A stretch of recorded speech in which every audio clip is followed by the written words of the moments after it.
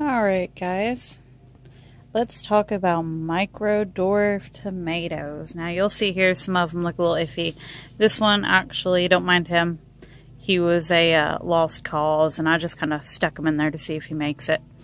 And he probably won't, but that's besides the point.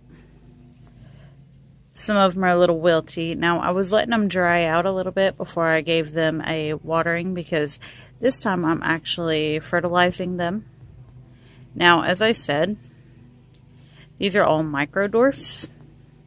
And these are fairly small planters. I got um, a set of three stacked planters. So I got a little micro dwarf tomato planter. And we've got Warren here with us today. And Minnie.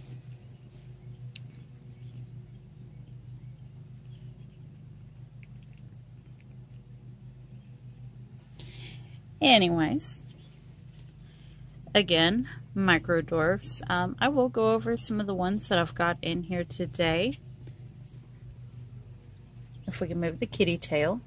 This one here is a Rosy Finch micro dwarf, and I've got a couple plants here. Focus that in. A couple of those there. Let's see here. And this one, this one is Orange Hat flowering quite well. Down here we have Pygmy Micro. There's two plants in there. Flip it around some. These two, I'm not even going to pronounce the name. I will have to include the name in the description. But um, these plants up here, this one, and these several ones up here, they are all the same. And they're kind of, uh, they're all a little on the leggy and truthfully, they look a, they look really ratty, to be honest. You see them. And then you see the orange hat, for example, how, how large and bushy, well, they're tiny, but how large and bushy it is for its size. And these are just kind of leggy looking. But here's the thing. All right, Minnie. You gotta sit down, lady. Thank you. The thing about these, they're already fruiting. Look at that. Isn't it adorable? These are the first tomatoes of the season here.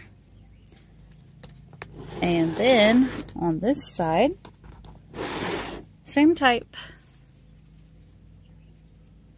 Look at them. Same type of tomato. Let's see what variety we have here. This one is Chibikko, Chibikko Micro. Can't really say it. I'm probably just butchering the name. Now this one, I would say he's probably 8 inches tall. And he has, see here, lots of little buds. Let me see, man. Right there, we see lots of little buds popping up. Lots of little flowers over here, lots of buds. So he's doing great. Now this one down here, he is either a Pygmy Micro Dwarf or Pinocchio Orange. I think this one is probably Pinocchio Orange though. Lots of flowers, lots of buds. Very healthy looking. And this is the other Pinocchio orange down here.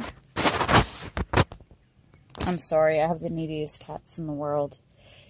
But this one, like I said, I believe is another, this one is Pinocchio orange. And he looks a little sad. He just needs water. That's all it is. He just wants some water. Let's see if there's any that I missed in this tower.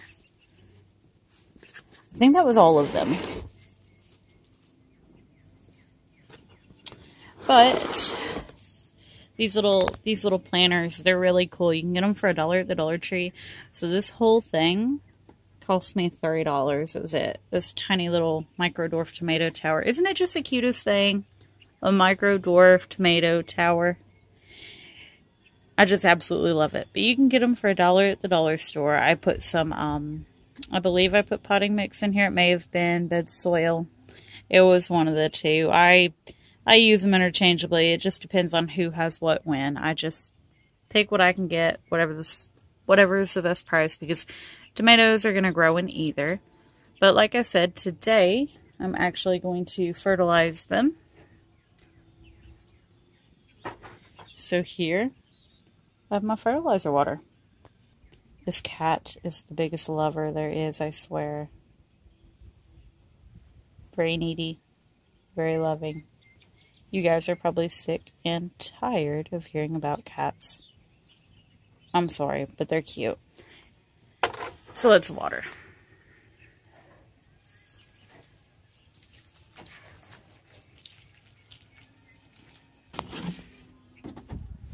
Water everybody on this side. And it does slow downwards, but I'm still just uh, watering everybody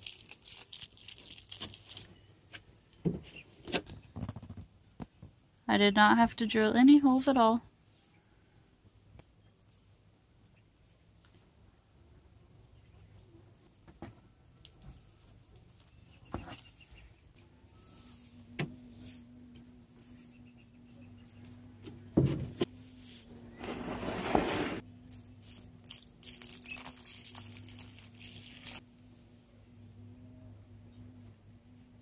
I absolutely love my micro dwarf tomato tower. I can't wait to show you guys what kind of yields I get out of this.